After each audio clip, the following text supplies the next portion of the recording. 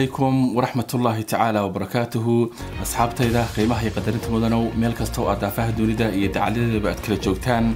Subax wanaagsan galab wanaagsan iyo habeen wanaagsan wakhti kasta oo aydin tahay baa wanaagsan.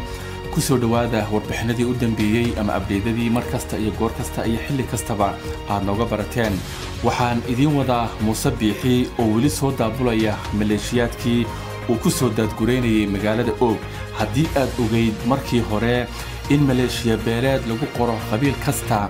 Hadda xaaladdu waxay maraysaa in baabuurtii waaweyneed ee dowladda inta suuqa la dhigo in dadka si khasaba lagu saaro laguna daabulo magaalada oog muuqaal aad la yaabi doontaan ayaan idinka wadaa. Dhinaca kalena waxaan idiin wadaa axmed muuse biixi waa wiilka u dhalay. Muuse biixi ayaa lix iyo toban nin kala dhex baxay.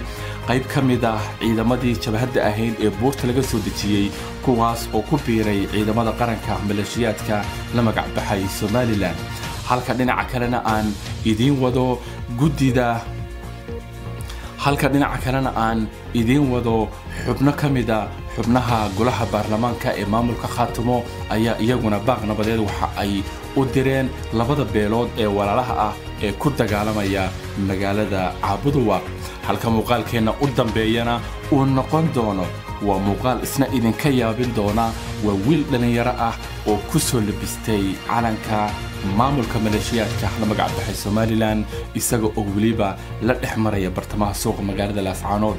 Bal isagana waxa ku dhacay ayaan idinka dabageyn doonaa haddaba intaynan u gudagelin sidii caadadiinu ahayd fadlan haddaan ugu cusub tahay subscribe-na soo dheh dhina sii wadaag saaxiibo fara badan oo wanaagsan sida idinkoo kale ah. Hore haddii aad noola joogtayna waan idinka mahad celinayaa laygtu mar kasta waxay noo tahay dhiirigelin meelo fogfog iyo asxaab fara badanna way gaadhsiinaysaa waxay talaya tusaalaana kommentiga hoose ayaa nagula soo wadaagi kartaan ku soo dhowaada haddaba haddii aan ku horeeyo keligii taliye muuse biixi cabdi ayaa weli waxa uu ku adkaysanayaa in uu soo aruurinayo ciidan ama maleeshiya beeleed bal intaynaan u sii gudagelin muuqaalkan aad la yaabi doontaan iyo xaaladdu halka ay marayso aynu wada daawanno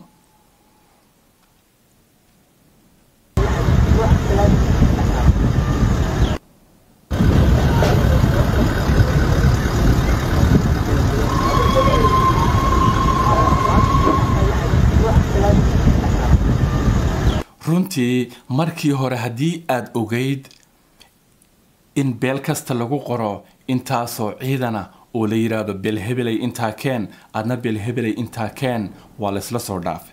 Hadda xaaladdu waxay maraysaan sida idiin muuqato baabuurtii waaweyneed ee ciidamada loogu talagalay in suuqyada bartamaha la dhigo dadkana lagu daabulo oo si khasaba lagu saaro runtii waa cajiib.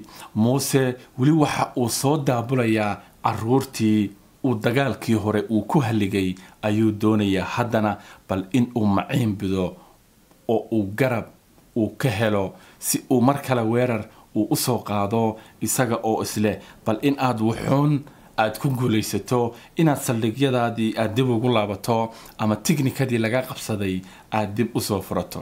Ugu dambeyn muuse biixi waxa uu soo daabulayaa ciidan meel kastana ciidan ayuu keenay. Warar hoose ayaa waxa ay sheegayaan ama warar xaqiiqo ah oo aanu helnay rag fara badan ama ganacsato fara badan oo muuse u tagtay kalena hadashay. Dagaalka waxa ay ku yidhaahdeen muusow wixii dhacay way dhaceen. Khasaaro inagu filanna way ina soo gaadhay. Haddaba khasaaro intaa ka badan yeesan inagu dhicine. Intaa ku jooji ciidamadana halkoodaas iyo oog u daa hase ahaatee muuse oo aada wada taqaaniin ayaa ku gacan saydhay waxa uuna ballan qaaday in uu weerar uu soo qaadi doono. Haddii aynu ka gudubno halkaas aynu u soo gudubno wiilka uu dhalay isla muuse biixi cabdi waa axmed muuse biixi ayaa isna rag waxa uu kala dhex baxay. Qayb ka mid a jabhaddii ka soo degtay buurta gacan libaax taas oo ku biirtay ciidamada qaranka ee maleeshiyaadka la magac baxay somalilan. Bal iyadana isla jabhaddii oo cabanasa ayaa wax walba inoo sheegay. Dhammaantiin ilmaadeerayaal waanu idin salaannay salaan qiimo badan oo sharfun baanu idin salaannay karaamaanu idin haynaa. Waxaa xilligan nugu kalifay leefka soo galnona waxa weeye. Go'aan guddida garxajis oo aanu ku dhaqaaqnay oo aanu yeelnay ooanu qaadannay hase ahaatee maanta caawa ay waaweyn ka soo kordheen. Carruurihii dhallinyartii dhibooga ee shalay tolena lagaga kaxeeyey ciidanka qarankaa lagu wareejinayaa. Intaan la islaba gaadhin dhallinyartii nakaxeeyey caawa qaar ka midii liintay ku cabbayaan saldhigyadii heegada. Sidaannu markaa annagu ku iman karnaa. Wax heshiisa oo aanu qaadan karno oo noo cuntama runtii nimankani waa qayb ka mid ah nimankii buurta gacan libaax ee jabhadda dulmidiid. Hase ahaatee waxaanu soo ogaanay oo aanu soo xaqiijinay raggan ay sheegayaan ee lala baxay in uu la baxay axmed muuse biix cabdi isaga oo xarash hore u hayay.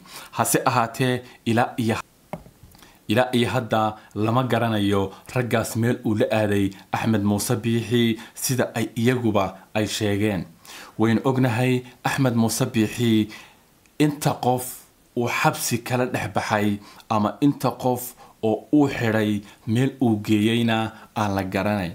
Waa wiilka uu dhalay muuse biixi sida aabbihii oo kale ayuu isna ugu takrifalayaa xukunka uu hayo aabbihii waynu ognahay wiilkiisu waa sirdoon madax bannaan waxaa kaloo uu haystaa dhalinyaro iyaguna sirdoona oona uu u diro haddii aynu ka gudubno kaasna aynu u soo laabanno xubno ka mid a golaha baarlamaanka ee maamulka khaatumo ayaa iyaguna baaq nabadeed oo dheer waxa ay u direen labada beelood ee walaalaha ah ee ku dagaalamaya caabuduwa.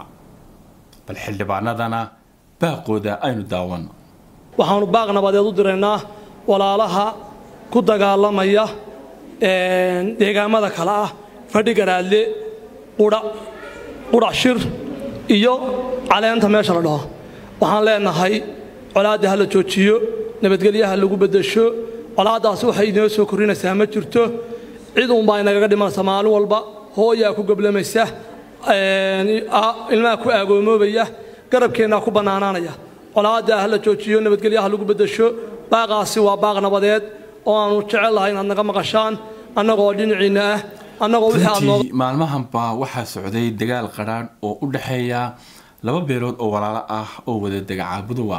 Dagaalkaas oo keenay dhimasho iyo dhaawacba iyo khasaare kaleba ugu dambeyn golaha baarlamaanka ee khaatumo ayaa fariin dheer oo baaq ah. Waxa ay u direen beelaha walaalaha ah ee ku dagaalamaya caabuduba muuqaalkeena u dambeeyana waxa uu noqon doonaa wiilkii ku soo labistay calanka maleeshiyaadka la magacbaxay somalilan lana soo dhex maray gudaha magaalada lascaanood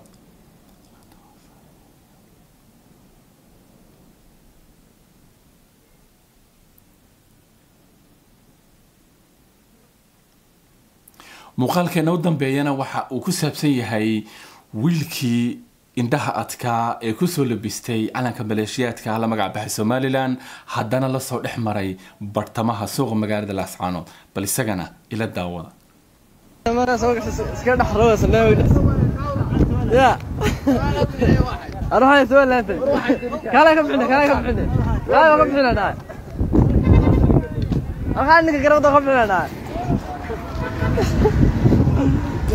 runtii waa arrin aada iyo aada looga yaabay.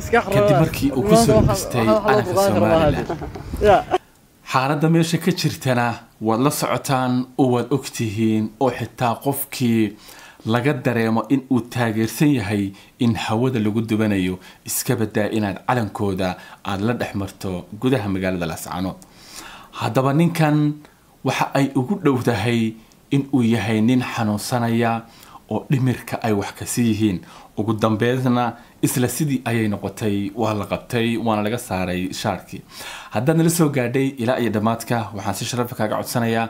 Subscribe-na soo dheh lana sii wadaag saaxiibo fara badan oo wanaagsan sida idinkoo kalea tani intaynu ka kulmi doono waxaan kaga tegayaa fi amaanillah